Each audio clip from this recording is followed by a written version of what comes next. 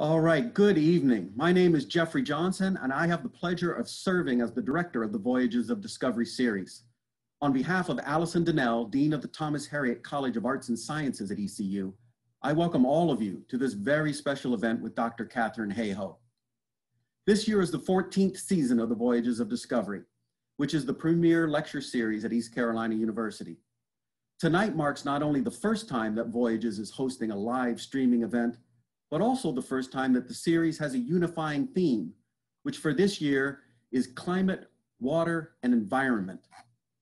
Both the widespread and devastating fires raging currently in the Western United States and the realities of ever more extreme weather conditions and we weather events vividly remind us that tonight's event is a timely one that requires our urgent responses. I trust that you have had the opportunity to view the Voyages website, which can be found at voyages.ecu.edu. That's voyages.ecu.edu. This website has information about our two speakers in the spring, as well as a detailed overview of Dr. Katharine Hayhoe, who holds an endowed professorship at Texas Tech University, where she serves as co-director of that institution's Climate Center. In order not to delay the appearance of our guest speaker any longer, I won't repeat those details found on the website. You can, you can read them for yourselves. For the sake of brevity, I wish to say that we are delighted to have with us such an accomplished and celebrated atmospheric scientist and climate expert. The ECU Pirate Nation welcomes you, Professor Hayhoe. Thank you so much for having me. And thank you everyone who is attending this virtual event what we're going to be talking about is we're going to be talking about four questions. Is climate changing? Are humans responsible or is it just natural? Why does it even matter? And what are we supposed to do about it? So I want to know which question are you most interested in knowing the answer to? Are you most interested in knowing is climate changing? Are humans responsible? Why does it matter? Or what can you do? It looks like we're sitting around 68, 70% people want to know what they can do. About 22% want to know are humans responsible, which is a very good question. And then 5% want to know is this even happening? And 3% want to know why does it matter? All right, we are going to be talking about all of these, but we're going to be ending with the last one. But let me just tell you something. If you're here for the answer to the last question, the answer to the last question will involve knowing the answers to the previous questions. So don't just tune out until we get to the last question. You want to pay attention as we go along. All right. So, question number one Is climate changing? Well, these days, whenever we see a headline that says there's a heat wave, people say, oh, that must be global warming. And then when they see a headline like we saw just the other week, record snow in Colorado after Labor Day, people say, oh, if it's cold, where's global warming right now? You've probably even thought that yourself. I know I actually have too. Here's the thing weather is what happens from day to day, week to week, and even year to year. Weather is what our brain remembers. Weather is like a single tree What's climate? Climate is the forest. Climate is every single tree, in other words, every single day, for not just a year, not just 10 years, for at least 20 to 30 years. And our brains are not built to remember climate. I don't know about you, but I cannot remember the temperature, let alone the rainfall or the humidity or anything else. I can't remember the temperature on every single day of the year for 20 to 30 years and then add up all those numbers in my head and fit a trend line to it to see if it's going up or down. I can't do that. That, but I can remember specific weather events that I have lived through in the past. We remember weather, but we don't remember climate. Weather is the ups and downs. So, hot and cold, wet and dry, wherever we live, we experience weather. But climate is the long term average of weather. So, in other words, your average temperature, your average precipitation, that's climate. Also, the flood of record, the drought of record, the extremes we've had in the past, that is also our climatic range. So when we're talking about a single heat wave or a single snowstorm, you can see where I'm going here, right? That doesn't tell us about climate change. To look at climate change, we have to look at weather over what? Over at least 20 to 30 years to see if it's changing. We know that wherever we live, we are subject to weather and climate disasters naturally, right? These happen no matter where you live. In fact, where I live in Texas, they get more of these billion dollar events than any other state because in Texas you get pretty much everything. You get ice storms and snowstorms and blizzards and dust storms and haboobs and tornadoes and hail and of course hurricanes and droughts and floods. But the Carolinas are definitely one of the states that are darker red too. So we get these disasters naturally all the time. And that's just part of living on this planet. We get floods, we get hurricanes, we get water shortages and droughts. We get record breaking wildfires. We get weather all the time. So now I'm going to ask you, and this question's a little bit harder. You have to answer this question with a word. So, what memorable event have you lived through? Have you lived through a drought, a flood, a hurricane? Yes, I'm seeing a lot of hurricanes here. Um, a blizzard, snowmageddon, Oh my goodness, I feel like people here have lived through almost every hurricane. So we've got Hurricane Floyd, Hurricane Matthew, Hurricane Florence, um, Hurricane Fran, Hurricane Dennis.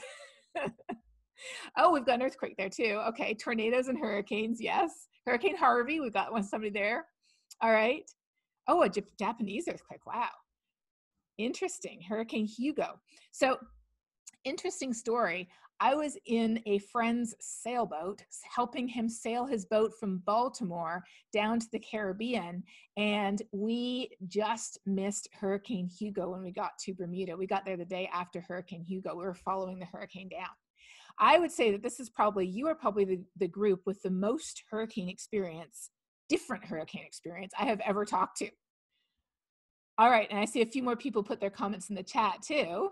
Let's see. Yep, we got lots of hurricanes in the chat too. All right. So we know that this is just a normal part of life on this planet, right?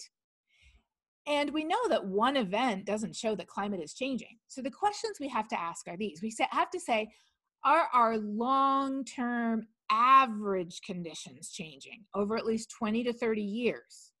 And are our weather extremes changing at all, becoming more frequent or stronger or bigger or more intense? So we have to look at the long term changes. And when we look at these long term changes, we see that the answer to both of these questions is generally yes. So at the global scale, from year to year, global temperature goes up and down. That's weather. But decade by decade by decade, it steadily ticks upwards. That's climate it is not only temperature that we use to see if the planet is warming. We use all kinds of natural thermometers. Like what? Like looking at melting ice, like looking at when the peach trees blossom. My colleague here in Texas is a biologist, and when he first moved here, he planted a peach tree in his backyard. Being a biologist, he wrote down the date that that peach tree flowered every year until he had to cut it down two years ago. And when he cut the peach tree down two years ago, after it had been in his backyard for almost 30 years, it was flowering on average 20 to 30, or sorry, two to three weeks earlier in the year than when he first planted it. We also know that all kinds of invasive species are moving northward. Uh, you are probably very familiar with kudzu, right? Kudzu is an invasive Japanese vine that was brought in during the Great Depression, and farmers were encouraged to plant it to feed to their cows. And now, of course, it's known as the vine that ate the South. But did you know that kudzu is kept at bay by cold winter temperatures? As temperatures have been warming, kudzu has been creeping northward it is all over southern Illinois. And about 10 years ago, they found kudzu in Canada. Yes, but they couldn't remove it because it was on private property and kudzu was not on the list of natural resource canada's invasive species because they never thought it would make it to canada Similarly, we've got Lyme disease and deer ticks moving all the way north, things that you may be very used to that people never saw further north. We're seeing all kinds of changes, sometimes, sometimes right in our backyard.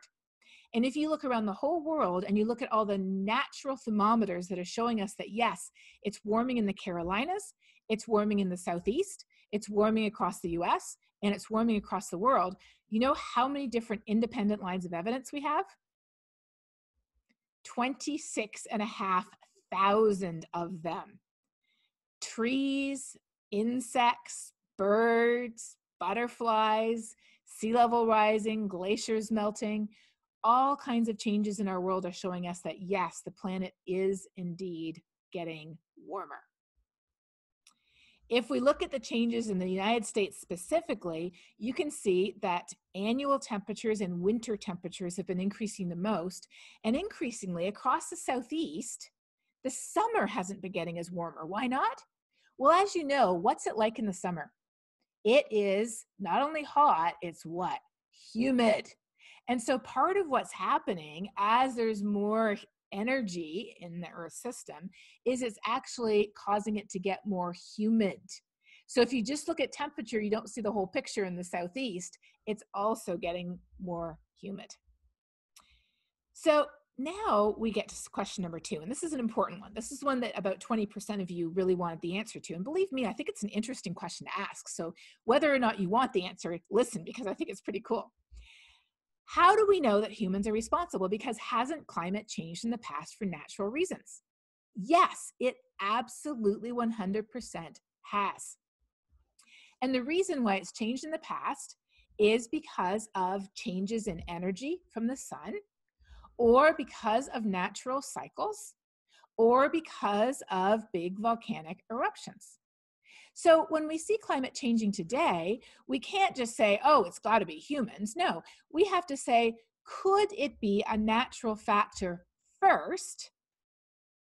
And only then, if it's not, would we say maybe it's humans. So let's look at each one of these to see if it could be getting warmer because of a natural factor first. We're going to start with the sun. So if we were getting warmer because of the sun, the sun's energy would have to be going up kind of like when you turn the dimmer switch on a lamp, right? When you turn it up, it gets brighter. When you turn it down, it gets cooler.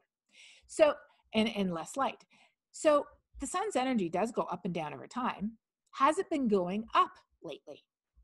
It turns out the answer is no. The sun's energy over the last 50 years has been going down, not up.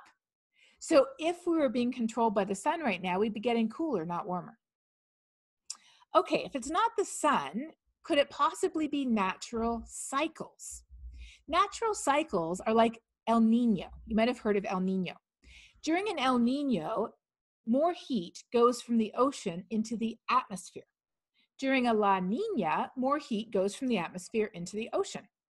During a natural cycle, heat gets moved around the climate system from east to west, north to south, ocean to atmosphere and back again. Natural cycles are kind of like a teeter totter or a seesaw, right? When one side goes up, the other side goes down. So natural cycles can't make the whole planet warmer. All they can do is move heat from one part of the planet to the other. A famous example of a natural cycle was the medieval warm period. I don't know if you've heard of that. That was when all the Vikings got out their margaritas and went on a cruise to Greenland. Just kidding. It was actually still quite cold back then. Greenland was never green, it was still covered in ice, but it was just a little bit warmer than average during the medieval warm period, so that people were able to settle around the edges of the ice sheet in Greenland at that time. So people often say, well, wasn't it warmer than average then? So how do we know it isn't just the same natural cycle? What do natural cycles do? How do they warm one part of the earth? by taking heat from another part of the earth, right?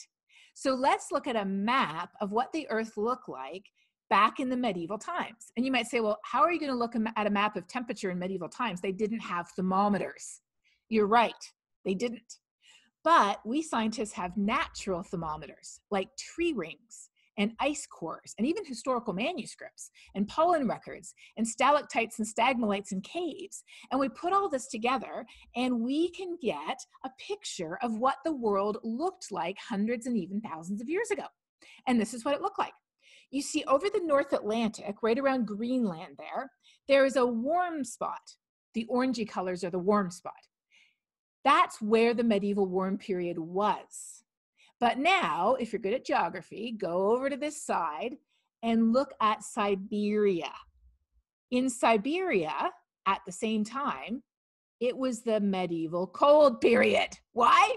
Because it was a natural cycle. So part of the heat came from here and it went over there. So this is what a natural cycle looks like. So then we can say, well, what does it look like today? If it's only warmer over the United States and it's colder somewhere else, obviously it's a natural cycle, right? Here's what the world looks today on ex- like here's what the world looks like today on exactly the same scale. In fact, this is a bit of an old figure. It's 10 years old. It would look even pinker today. It is not a natural cycle. The entire planet is warming. There is another one, though, that it could be, and that is volcanoes. Now, I don't know if you've heard this, but I've had many people say, Katharine, don't you know that one volcanic eruption produces more pollution than all the people in the world over maybe you know, a year or 10 years or even more? I have heard that, but unfortunately, it's not true. What do volcanoes do? When they erupt, they produce all kinds of little particles that, if it's a really big eruption, get all the way up to the upper atmosphere. And there they act like an umbrella, reflecting the sun's energy back to space. So, what happens if you put up an umbrella on a sunny day? It keeps you a little bit cooler, right? In the same way, a volcanic eruption is like an umbrella for the earth it actually cools us down. In fact, back in the 1800s, there was a major eruption of Mount Tambora in Indonesia. It was so big, and there were so many particles ejected into the upper atmosphere, and that umbrella was so thick and it lasted for so long almost three years that the summer after the eruption was known as the year without a summer. Crops failed all over the world. Napoleon's armies were frozen out when they tried to invade Russia.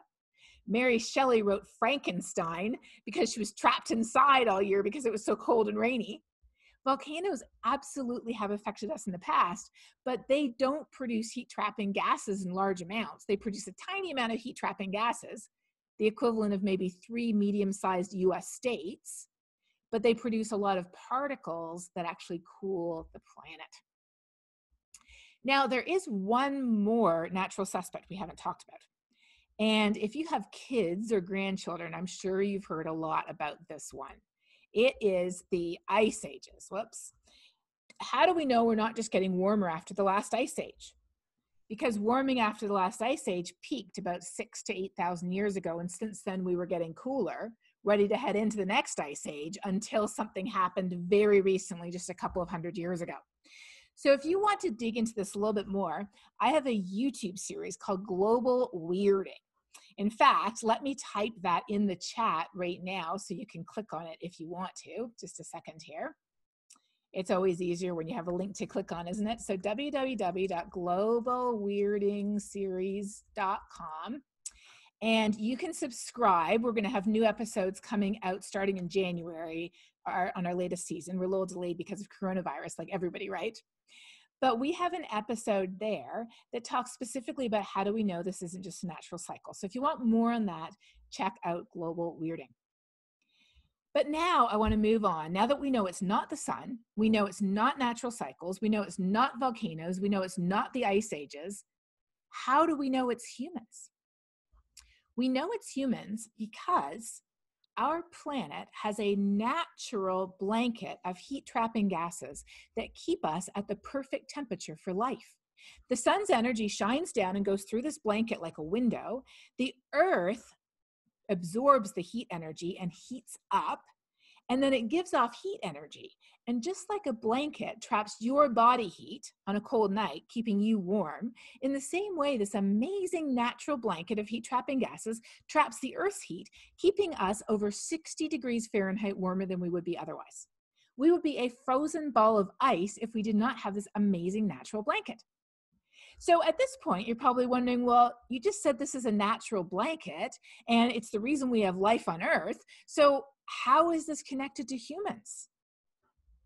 It's connected to humans because when we dig up and burn fossil fuels, which consist of coal and natural gas and oil, when we dig up and burn fossil fuels, they produce the same heat trapping gases that are in our natural blanket, the same ones carbon dioxide, methane, and more. And what's happening is they are building up in our atmosphere, wrapping an extra blanket around our planet, a blanket it does not need and was never designed to have. Just as you would if somebody snuck into your room when you were sleeping and put an extra blanket on top of you that you did not need, in the same way, our planet is heating up because we are wrapping an extra blanket around it. Now, you might say, well, that sounds fine, but how long have you really known this? I mean, are you really sure? So, I want to ask you this question How long do you think we've known most of what I just showed, showed you? Have we known most of it since the 1850s or the 1900s or the 1950s or when Al Gore showed up and told us all? Just kidding. All right, we have, let's see, we've got 48%, 45% for 1950s. 1900s is a little less popular. In second place, we've got the 1850s. Okay. All right, it looks, oh, oh, okay. It looks like we're in a dead tie for the 1850s and 1900s, and 1950s is the winner. All right, I have the answer for you. Ready? Here we go. It turns out the correct answer is A. Yes. How long have we known most of this? Since these scientists. And these are the real pictures. They are not these, you know, fake old-timey pictures where your family dresses up in Western outfits and takes a picture in black and white. These are the real people. So we've known about the natural blanket that keeps our planet over 60 degrees warmer than it should be since Joseph Fourier in the 1820s. We have known which gases make up the blanket since the work of John Tyndall in the 1850s. We have known that coal mining was producing more of these gases since John Tyndall's work also in the 1850s. And Mrs. Eunice Foote, who was an American scientist from upstate New York, she is the one who discovered that the planet would be getting warmer if carbon dioxide levels were higher. And she said that in 1856. Isn't that amazing? Then Svante Arrhenius was a Swedish chemist who calculated by hand in the 1890s how much the world would warm if we doubled levels of carbon dioxide in the atmosphere. We haven't quite doubled them, but they've increased by 50% already, and his numbers are exactly what we see happening today. And then Guy Callendar, the last one here, he was a British engineer who collected weather station data from around the world and actually showed that from the 1880s to the 1930s, how much the planet had already warmed. Isn't that amazing? So not only have we looked at every natural suspect, the sun, natural cycles, volcanoes, we have known about this for over 150 years. All right, so now we are on to question number three. Why does this matter? Now, interestingly, this was the question that the least people wanted the answer to. But I'm going to show you something interesting. When we actually ask people questions about climate change, it turns out that this is the question where the most people miss the boat. After this section, you will understand why. Here we go. So if you look at the whole country, these are a series of maps from the Yale Program on Climate Communication. You can go there yourself and you can look up results by county. And I think I have the result for Pitt County. Yes, right there. See, you can look up the results by county and by congressional district. They ask about 30 different questions. I'm just going to show you a few of them. And you can see that most people in the US would agree that yes, global warming is happening. So anywhere that's orange is more than 50%, and the darker orange it is, the more people say yes. If it's less than 50%, then it's blue. Okay, so is global warming happening? Most people say yes, and in Pitt County, it's a little bit higher, 74 as opposed to 72%. Do you think global warming will harm plants and animals? Most people say yes. Do you think global warming will harm future generations? Again, most people say yes, I think it will. Do you think global warming will harm people in developing countries? We're starting to see a little bit more blue here, but it's still mostly orange, right? So people pretty much agree, let's recap, people pretty much agree that climate change will affect plants and animals, future generations, people in developing countries. What do those three things have in common? They are far away from us in space, in time, or in relevance, right? But then the rubber starts to hit the road. Do you think global warming will harm people in where? In the United States. That's a lot lighter yellow, and there's quite a few blue counties here.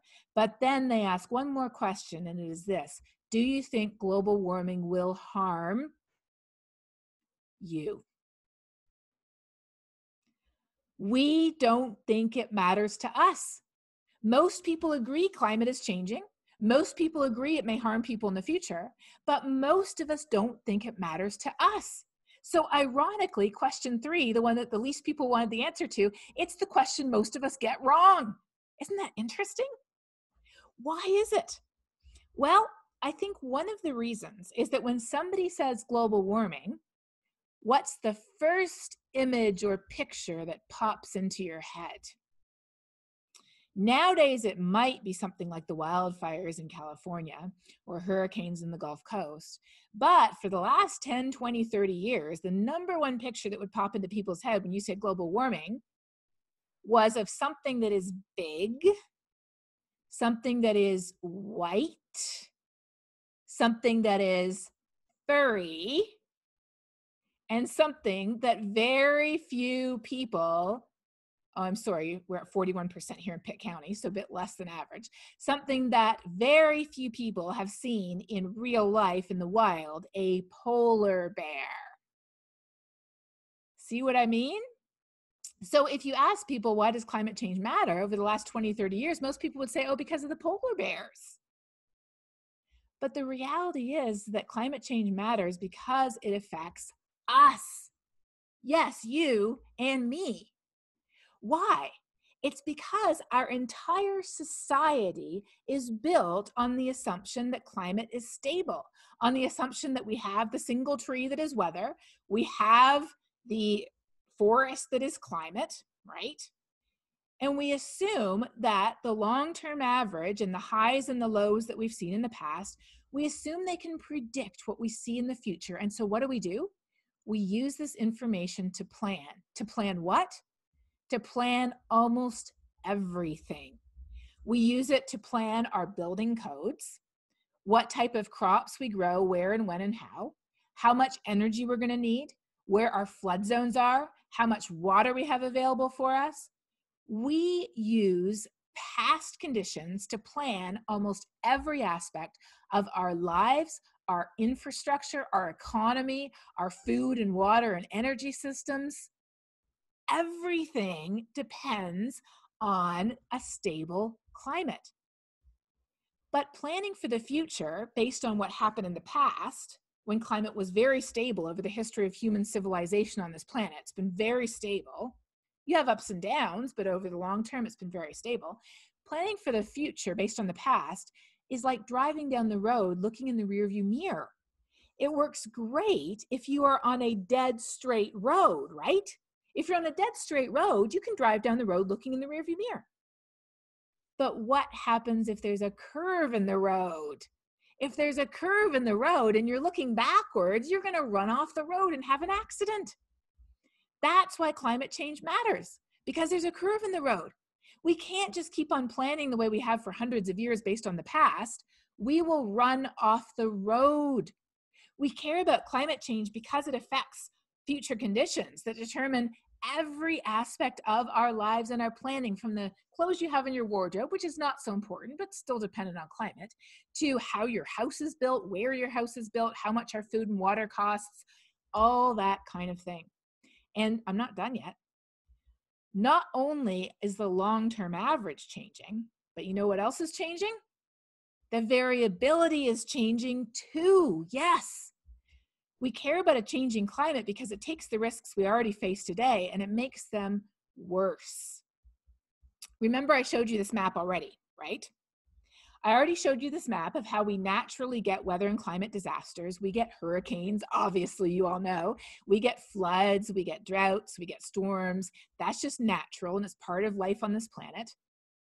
But it's like we have a pair of dice, and you always have a chance of rolling a double six. What's a double six? Hurricane Matthew, Hurricane Florence, Hurricane Ike, a drought, a heat wave, a storm as the planet warms decade by decade by decade, it's as if climate change is sneaking in and taking one of these numbers and turning it into a six, too. And then it takes another number and turns it into a six. And then it takes a number and turns it into a seven. And all of a sudden, you're rolling a double seven, and you say, How could something like this happen? We've never had anything this big or this strong before. That's climate change. So, where and how is climate change loading the dice against us? Let me give you a couple of very specific examples. Number one, as the air warms, it can hold more water vapor.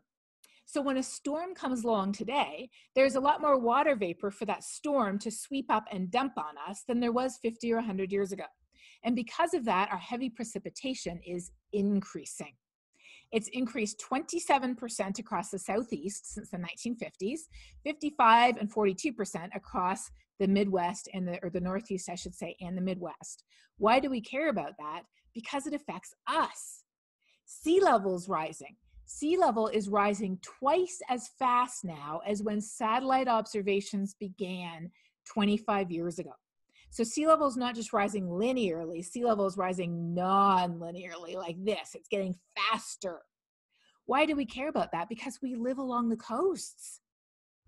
NOAA, not Noah's Ark, but NOAA, the National Oceanic and Atmospheric Administration, NOAA has showed that rising seas are increasing the water during our high tides, right? Because we get high tides naturally, but high tides plus rising sea levels are already flooding many coastal communities.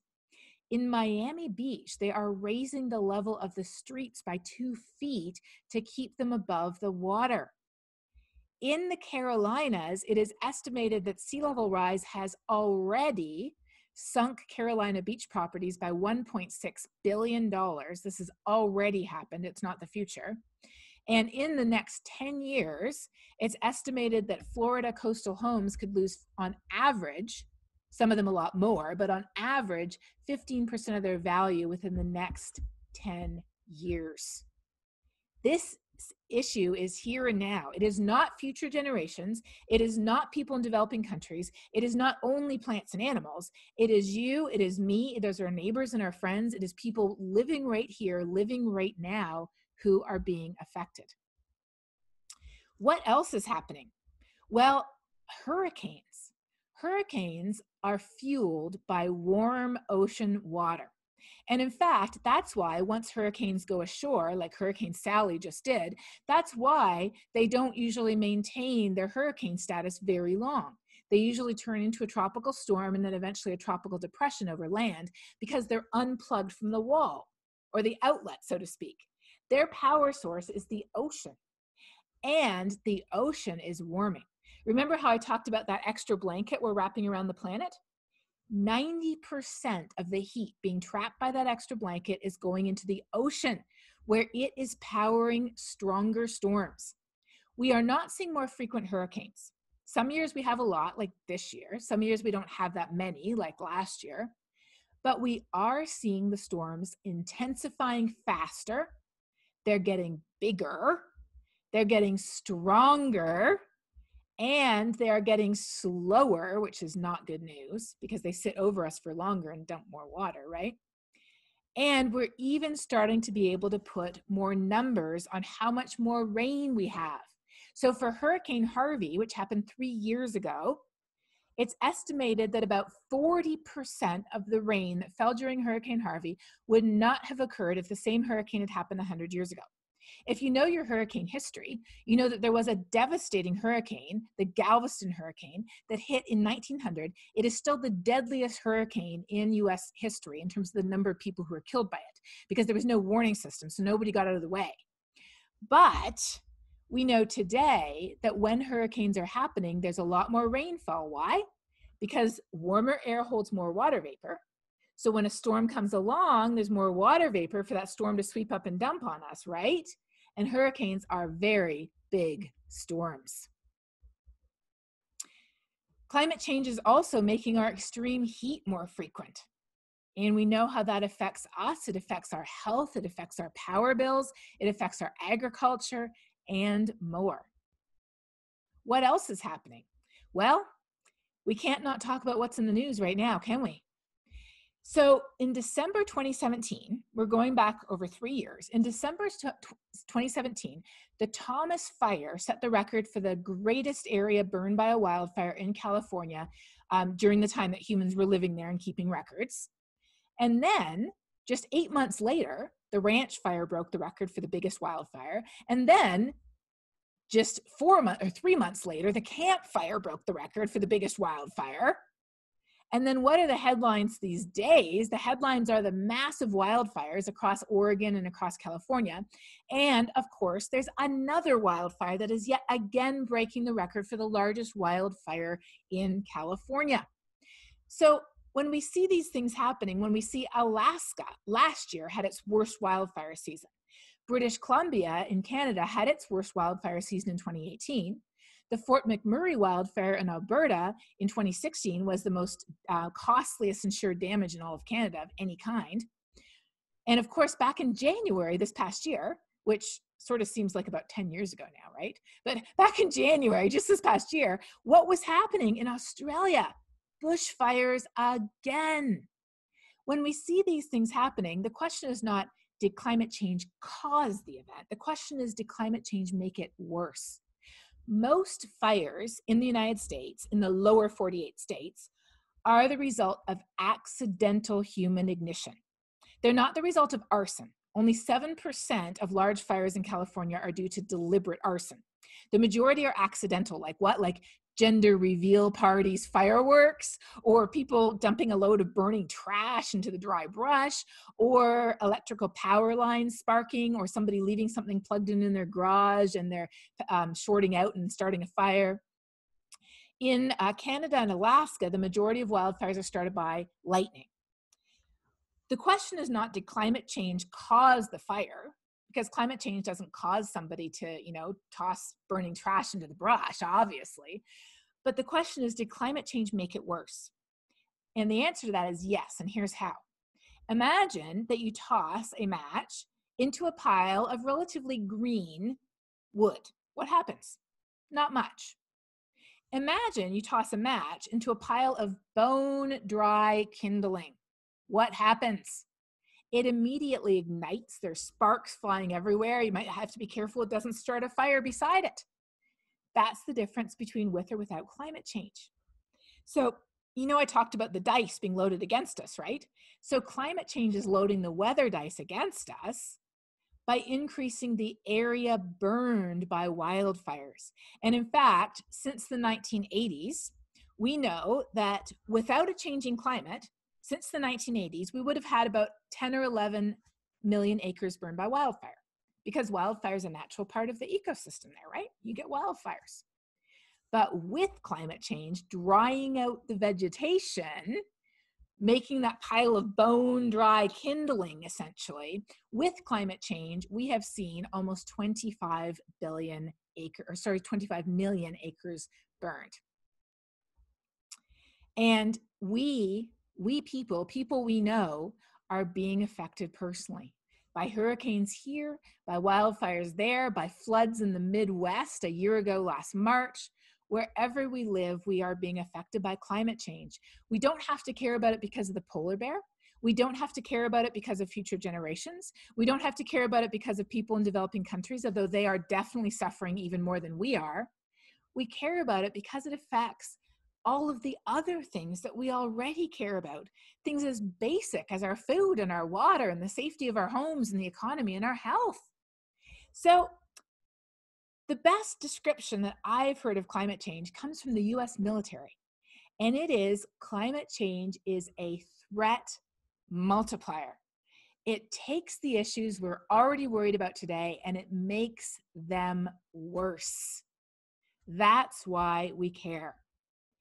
And in poor countries, it is even worse. This is a study that some scientists did last year. They showed that in poor countries, climate change has increased the economic gap between richer and poorer countries by as much as 25% already. Everywhere that you see a brown or tan color, the average GDP per person has gone down because of climate change. Everywhere you see a green color, the average GDP has gone up you don't see a lot of green colors. There's a little bit, there's Canada, there's Europe and Russia, but across not just the US, but Central America, South America, Africa, the Middle East, Southeast Asia, it's a lot of brown. The poorest countries are getting poorer. We also know that climate change disproportionately affects certain people, people who are already poor, people who are already vulnerable, it affects women and children more, especially in poor countries. It affects indigenous communities more. It affects people of color more, even right here in the United States. So, climate change is profoundly unfair and it affects every single one of us. So, why do we care? Again, it's because we only have to be human to care about climate change. And every single one of us is human. So now we're on to the very last question. And this is the question that the most people wanted answers to. After we're done, we have plenty of time for me to take your questions. And you're going to be typing your questions into poll everywhere after we're done. So save them up. Don't put them in the chat. Don't put them in the Q&A on Zoom. Save your questions till the end. But this is the last question that I'm answering now. And then after that, I'm going to be taking your questions. Okay, here we go. What can you do about it? When somebody says climate change or global warming, we normally think, well, maybe I could change my light bulbs. Maybe I could recycle. Solar panels are too expensive. I could probably look at getting a more efficient car next time I get a car. But we feel like none of these are going to really make a dent, right? Because we're just one person. And what difference does a light bulb or even 10 light bulbs or recycling or even a full car or a set of solar panels? We feel like, does that really make a big enough difference? Well, I was wondering the exact same thing because I study this problem and I know how big it is and I know how important it is, but I was wondering, what should we do about it? And these maps that I was showing you, these maps are where I found the answer. So we left off at this map. Do you think global warming will harm you personally? And you can see most people are saying no. If you're wondering what the orange counties are, the most concerned people about climate change are Hispanic Catholics and Native Americans. And you might say, well, of course, you know, the Pope wrote the encyclical about climate change five years ago. Of course, Catholics would be concerned. Not so fast. It turns out that white Catholics and white evangelicals are the least concerned about climate change. It isn't the Pope that's determining people's opinions, it's our politics. Climate change is the most politically polarized issue in the whole country right now. Racism is number two, and coronavirus is number three. But this is a map of do you think it matters to us personally? But there's another map that's darker blue. What do you think it is? Do you think, or I should say, do you ever talk about it? It turns out people said, no, we don't ever really talk about it. Here's the connection. If you don't talk about something, why would you care? If you don't care, why would you ever do anything about it, right? So for me, this is when a light bulb went off. I realized we're not talking about it. And every single one of us is able to talk. You could use your mouth. You can do it in social media. You can talk in many different ways. We communicate, I should say, maybe is a better way to put it. We can communicate. So if we don't care about it, it's because we're not talking about it, because we talk about the things that we care about it about. So, why aren't we talking about it? We aren't talking about it because we don't think it matters to us. We think it matters to the future or to people who live far away, but not us. And we don't think there's anything positive that we can do to fix it. So, what's the answer? The answer is to talk about what? To talk about how it does matter to us in the places where we live in ways that matter and are relevant today. And talk about what else? Talk about positive, constructive things that we can do to fix it. These are the two most important things to talk about. So, ordinarily, when somebody says talk about it, we think, okay, climate's changing and I'm getting worried. Ice sheets are melting, sea levels rising, the west is burning down, the hurricanes are getting stronger. We get worried. And so, what we do is we instinctively share more scary data. We think, if so and so isn't scared enough or if they're not worried enough, they need to be more worried. So I'm going to make them more worried by sharing more scary information with them. Here's the thing that is not the way our human brains work. If we're not really that worried about something or we don't want to talk about it, or we don't even, you know, not even sure it's real, if somebody shares more scary information with us, we shut down and what happens? Nothing happens because, as neuroscientist Tali Sharot says, she's a neuroscientist and she studies how the brain works. Fear and anxiety cause us as humans to withdraw and to freeze and to give up rather than taking action. And so, in a vicious cycle, all that happens is climate changes more. This is how we usually communicate. And this is why it doesn't work. So you have to break this cycle. How do we do that? By talking about how climate change affects us personally, what it matters to us, not Greenland, but right here where we live in Greenville, and all the positive things that we can do to fix it. So, what happens then is climate changes, right? We're worried. Yes. What do we do? Instead of sharing more scary data, we share how it affects us and positive solutions that are being implemented to help fix it. As researcher Matthew Goldberg says, he says climate conversations break the cycle. They create a true positive feedback loop where the more we know, the more we care, the more we care, the more we talk about it. Instead of feeling depressed and discouraged, we feel empowered and hopeful. And what's the result of feeling empowered and hopeful? Action. As neuroscientist Tali Sharot continues, she says, Our human brain, and this is fascinating, our human brain is built to associate forward action, both physically as well as mentally, forward action, with a reward, not with avoiding harm. So, if we want people to move forward to take action, telling them to do so to avoid harm is not the way our brain is built.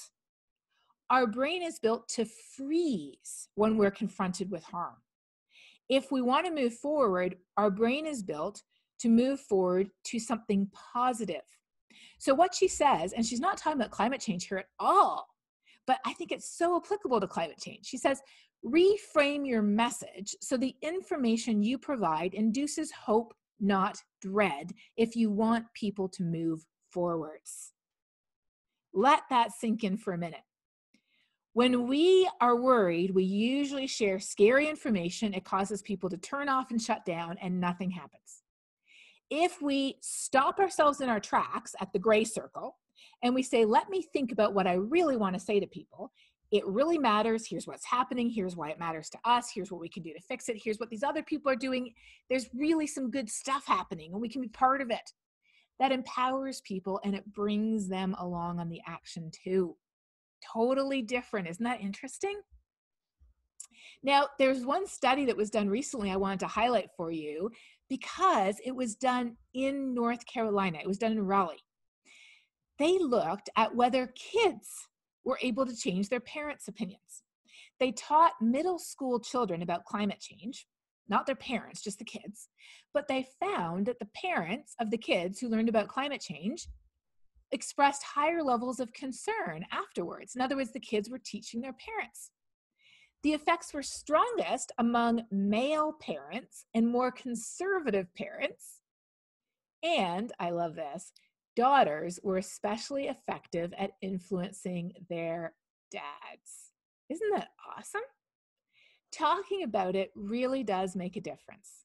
All of us, and even kids. So, how do we have these conversations? We start, and this is really important, you have to start with something that you genuinely share with the person or people that you're talking with. What if you don't know anything you share with them? Then get to know them. Figure out what makes them tick. What do they enjoy doing? What do they love? If you really can't find anything at all, nothing that you have in common with them, then you're not the right person to have that conversation. But most of the times we can find something. And once we have connected over something that we genuinely share, then we can connect the dots to how climate change is affecting us. And do not forget the third step. The third step is to inspire with positive solutions about what we can do to fix it. So let me give you a couple of examples just to break it down. Okay, what types of things can we bond over? I have bonded over living in Texas. I've bonded over being a mom. I've bonded over the fact that I'm a Christian. I've bonded over knitting, which I enjoy. I don't have military experience, but I have definitely bonded over Rotarian values, for example, over things that I enjoy doing. Who you are is unique. There are things about you that make you who you are. And what makes you who you are is the perfect thing to make you the person to care about climate change because we only have to be a human living here on this planet to care about climate change, but we all care about it for different reasons because of who we are. There's no one reason. So I care about it because I live in Texas. I'm a mom. I'm a Christian. I love um, skiing in the winter. I love snow. I care about it because of who I am. And so I can tell people who also like skiing why we might care about climate change. I can tell people who are Christians, as a Christian, why I care about climate change because the Bible says that we have responsibility over every living thing on this planet and we are to care for the poorest and most vulnerable people in the world. And those are the people who are suffering from the impacts of climate change most today. I can talk about how it's affecting the place where we live and why you'd care about it if you live in North Carolina or South Carolina or Texas. So now I want to ask you why do you care about climate change? I care about climate change because I am what? Fill in the blank. We have a good word right here human. Yes, that's a great word. You care about it because you are a human or a human being. Why else do you care about climate change? Because you're a grandparent? Absolutely because you're a parent, yes, for sure. A surfer, yeah, absolutely. A student, a Christian, mm-hmm. A sister, yes. Love it. A geographer, outdoorsy, a dog mom, yes, your dog cares too if they could talk to you. You love nature, you're a teen, yep. You're an archaeologist, love that. Oh, I got another skier there. Because you live close to the Atlantic coast, yes, absolutely. Yep. Because you're responsible, yes. Good. I love this. So look at this. I mean, human is the biggest answer, right?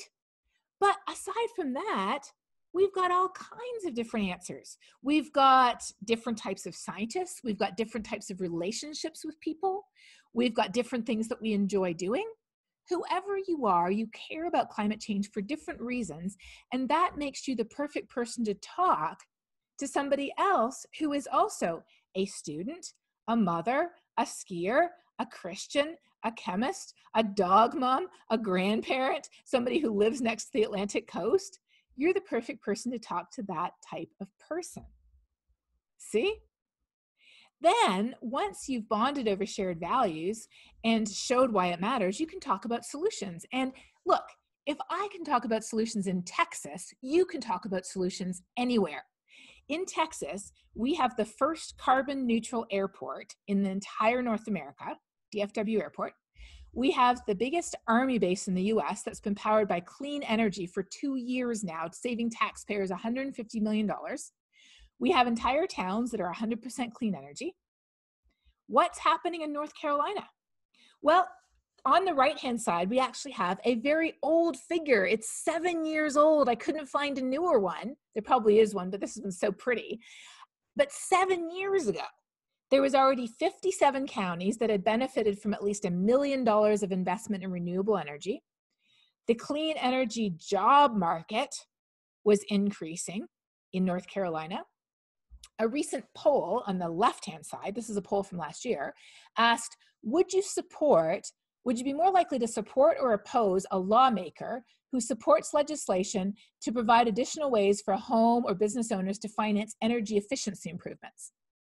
What have we got here? We've got 88.5% of people in North Carolina would support that. Would you support a lawmaker who supports policies to encourage renewable energy options? 85% of people would say yes. This is already happening in North Carolina today. Let's go back to those maps we were looking at, but now let's look at solutions. Do you support requiring utilities to produce at least 20% of their electricity from renewable sources? We're already at 20% in Texas. 65% of Pitt County residents would say yes. How about do you think the governor should be doing more to address climate change? 53% of people say yes. 53. That's pretty high. Might be higher if you had a few more conversations. We can talk about positive solutions that are happening in industry, big corporations going with clean energy. We can talk about things that are happening in faith communities. I work with the World Evangelical Alliance, and they're planning to make sure that one out of every five of their facilities are powered by clean energy within the next five years.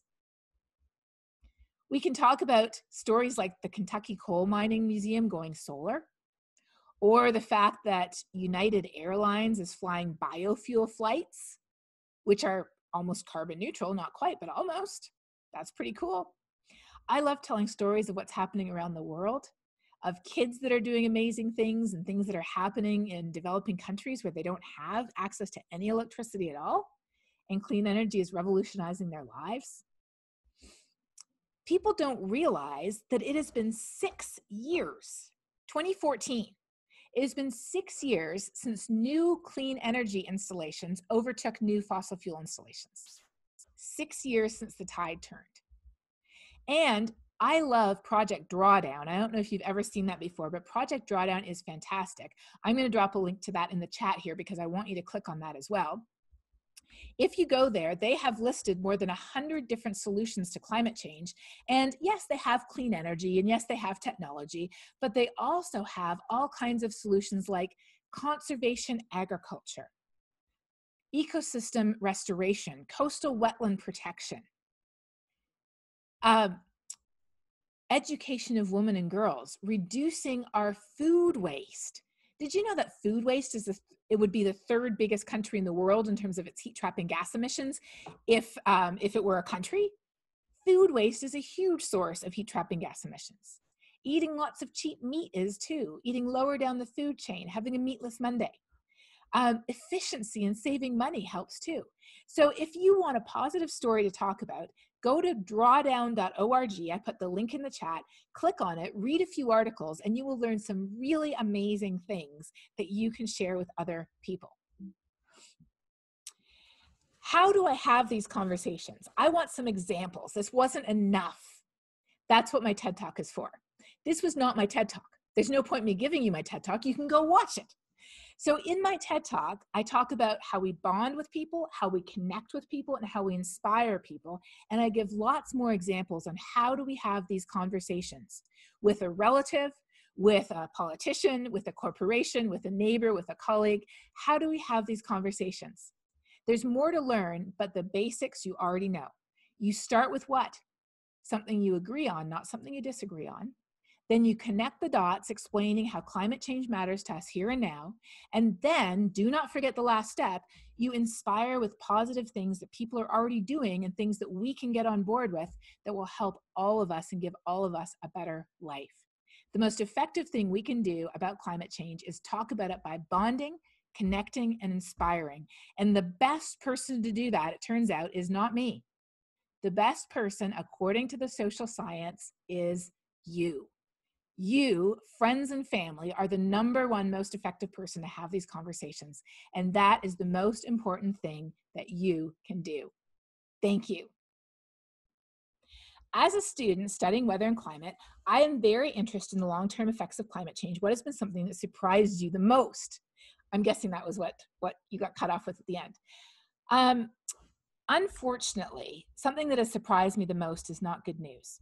So, I'm an author of the National Climate Assessment, and I wrote chapter 15 Potential Surprises. And what we concluded, if you look here, what we concluded is not good. We concluded that if you read the very end here, I'll highlight it. Climate models are more likely to underestimate than overestimate the amount of long term future change. That is not good news, and that definitely surprised me. Not in a good way. But then the other thing that surprised me that I learned, not from the physical science, but from the social science, the other thing I learned was this, and it's the subject of a global weirding episode. So here's global weirding. Our first, our most recent two episodes are actually on climate change and the coronavirus, if you're interested in that. But what surprised me the most was this one right here.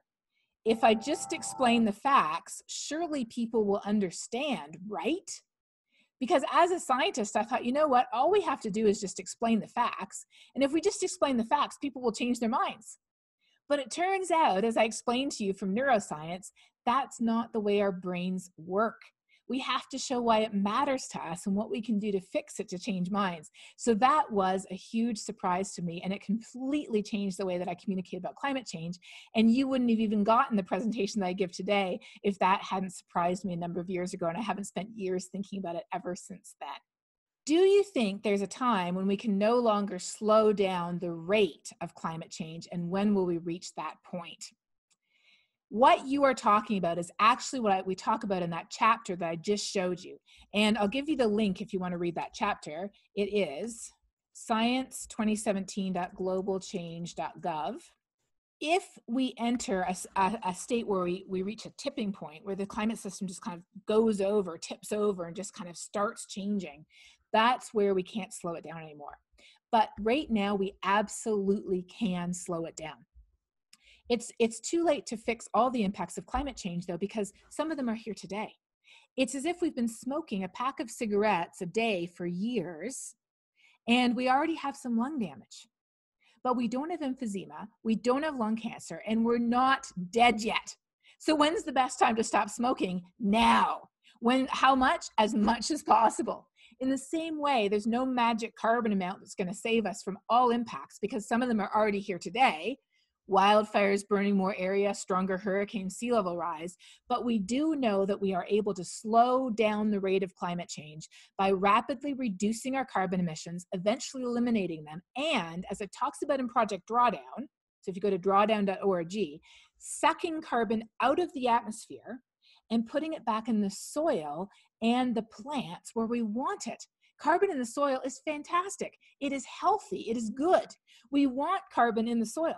So if we can reduce our carbon emissions and suck some of the CO2 out of the atmosphere and put it into the soil, we absolutely can slow down the rate of climate change. And the more we do it, the better off we're all going to be. All right. There's a great question here about coronavirus. Has coronavirus helped at all in this, in less traveling? So I have a whole talk that I've actually given on exactly this. Um, it is part of our Texas Tech Climate Center Science by the Glass event. But the short version is climate or the coronavirus has absolutely short-term reduced our carbon emissions by a lot by 17% around the world and as much as 25% in China. That's great news. In fact, to meet the Paris Agreement goals, we have to reduce our emissions about 40% by 2030 maybe about 45%. So basically, in a matter of weeks, we were almost halfway there. In weeks, we were halfway to our Paris goals. I mean, that is absolutely mind blowing when you think about it. We got halfway to our Paris goals in a matter of weeks. Here's the bad news it didn't last. Why didn't it last? Because we didn't achieve those reductions through sustainable methods. It's not sustainable for all the businesses to shut down, for kids not to go to school, for everybody around the world to stay in their homes 24 7. It's not sustainable. So, what happened as the pandemic passed? Guess what? Carbon emissions shot right back up again. So, does that mean we didn't learn anything? No, it means that we did learn that when we act, we can make a huge difference. But we have to achieve these reductions through sustainable methods. 50% of US carbon emissions could be cut through efficiency improvements. 50%. And we'd save money too. The other 50% have to be cut through clean energy and through lifestyle choices. And we also figure have to figure out again good soil conservation and smart carbon farming techniques to put some of that carbon back in the soil as well. But I think what coronavirus has showed us is that we can do it when we really understand how bad it is and how quickly we need to act. The next question actually relates specifically um, to the, the sources of energy. Nuclear energy does not produce heat trapping gases. It does produce nuclear waste, but not heat trapping gases. So why isn't it a bigger part of many clean energy portfolios? Well, if you go to drawdown, it is there. It absolutely is. But here's the key not the old school, traditional, conventional, large scale nuclear, which a new plant hasn't been built in, in decades. You know, they tried to build a new one in the Carolinas and it got so massively expensive that they just canceled it. So traditional conventional nuclear now is way more expensive than natural gas, than wind, and then solar, even including storage. So why is nuclear still on the list with Project Drawdown? It's because there's new nuclear technology that's being developed that's very interesting. It's what's called mini or modular nuclear reactors. It's a company called NuScale out in Oregon that's doing it. And then it's actually a company in England called Rolls Royce. You may have heard of it. It actually is the car company. They're also doing mini modular nuclear. And it's much more affordable, in fact, because nuclear can run 24 7, whereas wind does not. Wind is about 35. Uh, percent, um, it, it produces 100% at about 35% of the time the cost of this new mini modular is actually pretty close to that of wind with storage, solar with storage, or natural gas with storage today. So it's new technology. They're just testing it out right now.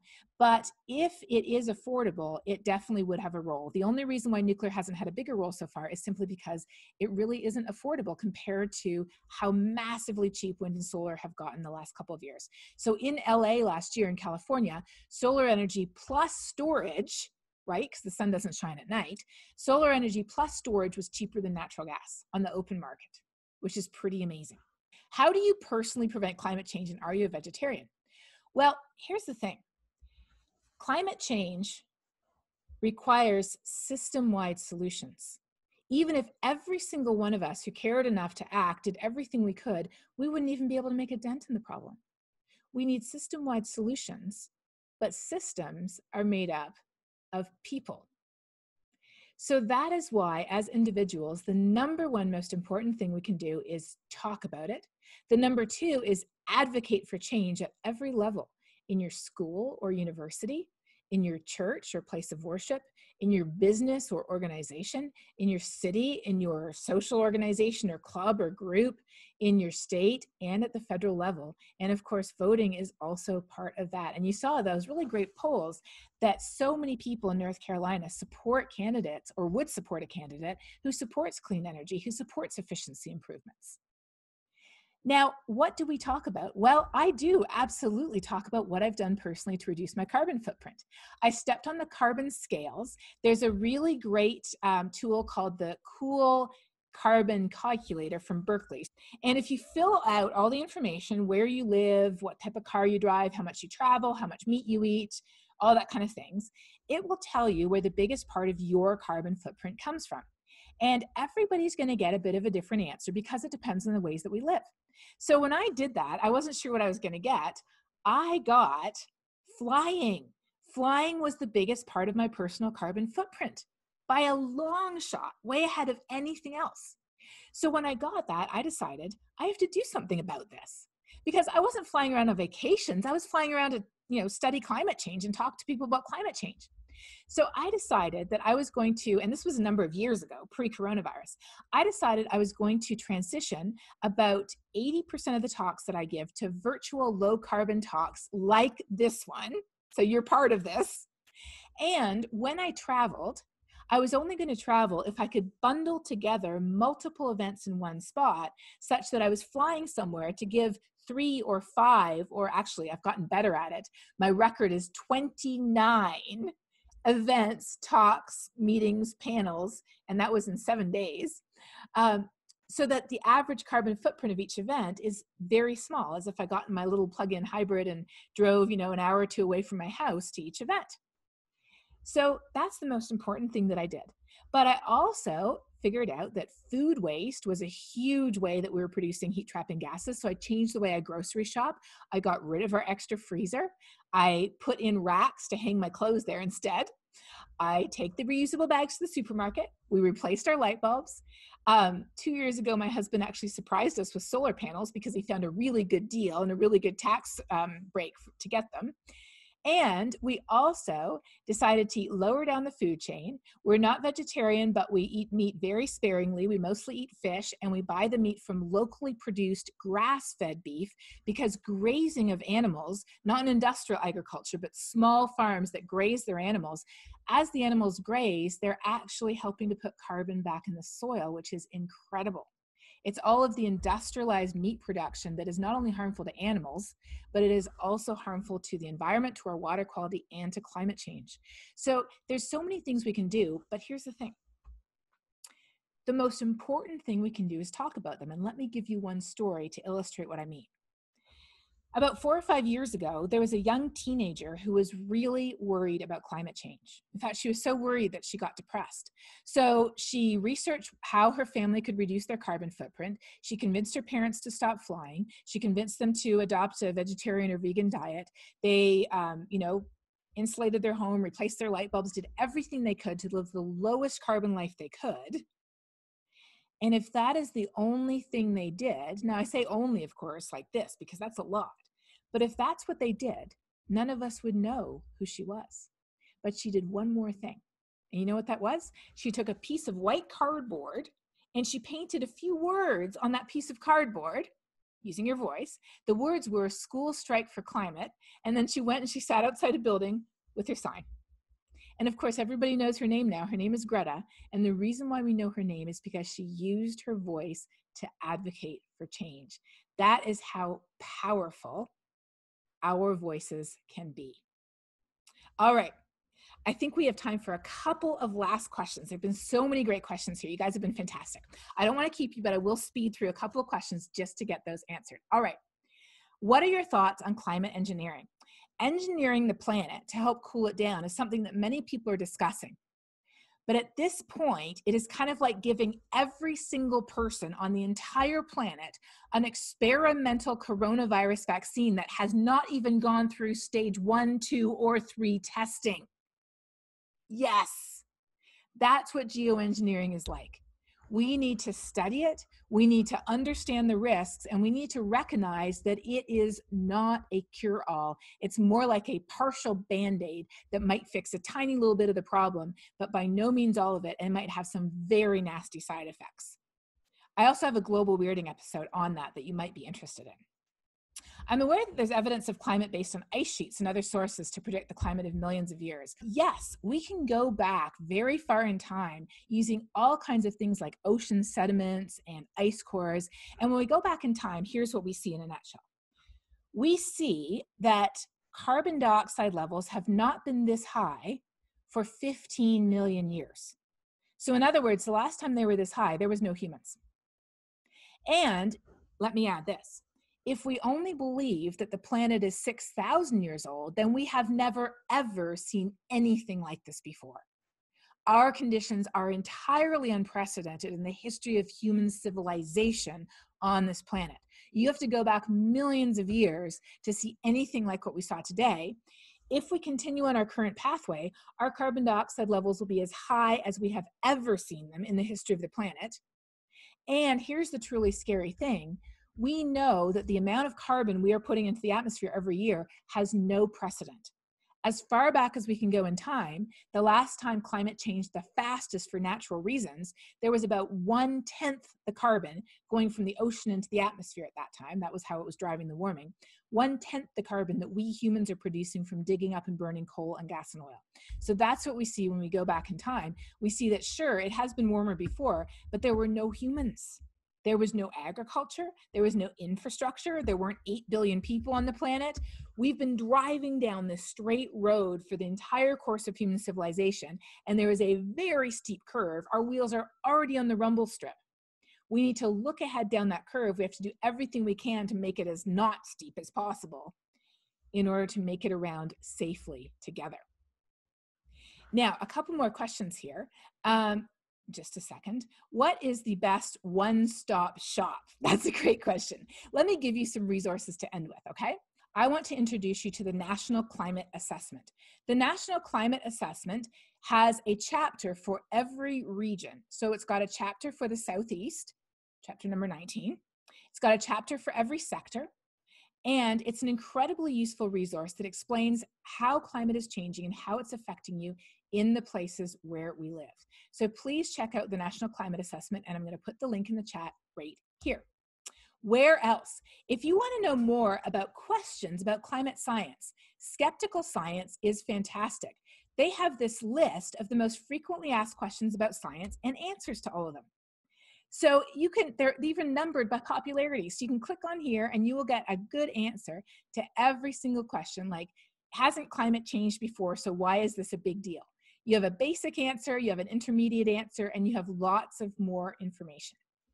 Global Weirding series.com has a whole series of short videos that I've done that talk about climate change and coronavirus, climate change in the Southeast US.